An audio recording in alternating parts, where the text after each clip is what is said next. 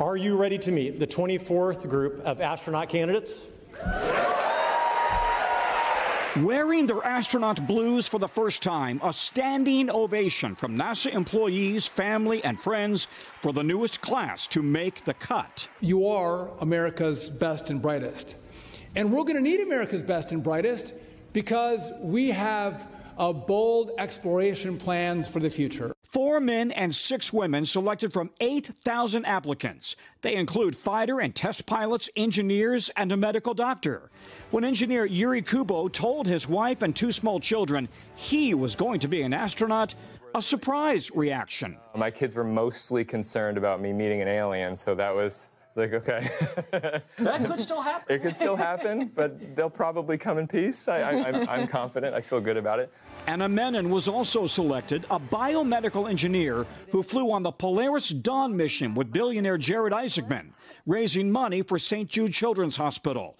Now, the moon, or maybe even Mars, could be in her future. I can hardly believe it myself. You know, what a time in human spaceflight that that is even possible. Now, all 10 members of astronaut class 24 will begin two years of extensive training in the classroom, in the pool, piloting, even wilderness survival. Meanwhile, other veteran astronauts are already scheduled for a big loop around the moon as part of Artemis 2 in the first part of next year. Then NASA hopes Artemis 3 astronauts, including a woman, will land on the moon in 2027 or 28. But America is not alone. And uh, I'll just tell you this I'll be damned if the Chinese beat NASA or beat America back to the moon. We are going to win. China plans to land its own astronauts on the moon by 2030, and the moon could be the springboard to Mars. And the first boot that ever sets foot on the surface of the red planet will be an American astronaut and could well be one of these boots right here. I am just pinching myself that this is even possible. You know, what a chapter of human spaceflight that we are in, that this is, is even possible today. Yeah. Both Anna and Yuri say that they have dreamed of being astronauts since they were eight to nine years old. And listen to this. They both immediately started dedicating themselves to science, and they stuck with hard science.